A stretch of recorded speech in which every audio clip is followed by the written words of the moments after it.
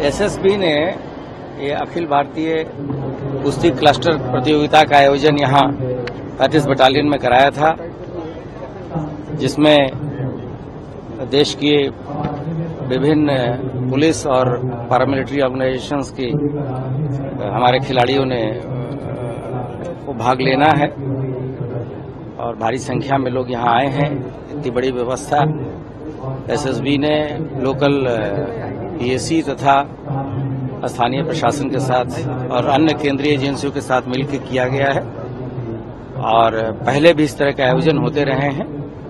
और मुझे पूरा विश्वास है कि जिस तरह के इंफ्रास्ट्रक्चर राज्य सरकार ने यहाँ 35 बटालियन में, दसवीं बटालियन में स्पोर्ट्स के लिए तैयार किया है। जैसे कि यहाँ का नया सिंथेटिक ट्रैक है।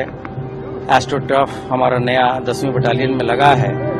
और लगातार खेलों के को जो प्रोत्साहन राज्य सरकार के द्वारा दिया जा रहा है 500 से अधिक कुशल खिलाड़ी भर्ती किए गए हैं। कुछ अखिल भारतीय और विश्व स्तरीय कार्यक्रमों में और खेलों में भाग लेने वाले, पदक जीतने वाले खिलाड़ियों को डेप्टी एसपी भी डायरेक्ट बनाया गया है, राज्य सरकार के द्वारा। तो इससे अधिक से अधिक खेल संस्कृति और खेल भावना जागृत होगी।